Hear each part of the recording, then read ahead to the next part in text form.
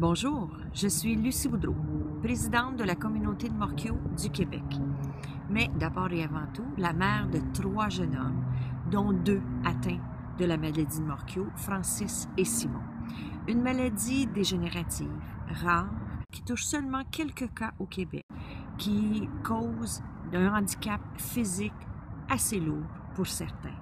C'est pour les gens comme eux que la communauté de Morquio a récemment été mise sur pied.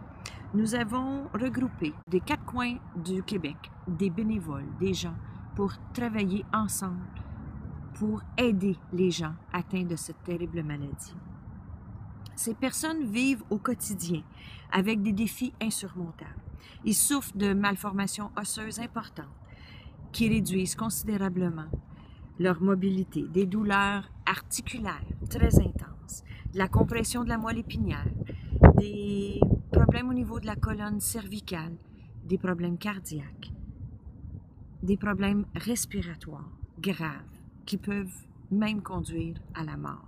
La communauté de Morquio vise donc à mieux faire connaître le syndrome de Morquio auprès de la population et à sensibiliser les acteurs publics aux nombreuses difficultés auxquelles doivent faire face les personnes atteintes et leurs familles. Elle s'est aussi donnée comme mission de mobiliser ses membres pour mieux défendre leurs intérêts.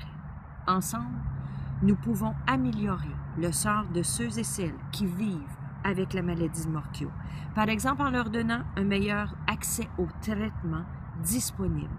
Mes deux fils, Francis et Simon, ont eu la chance d'avoir récemment obtenu accès à ce traitement efficace, le Vimizim. Mais il reste encore beaucoup de travail à faire pour que tous gardent le traitement et pour que les autres aient aussi droit à une meilleure qualité de vie.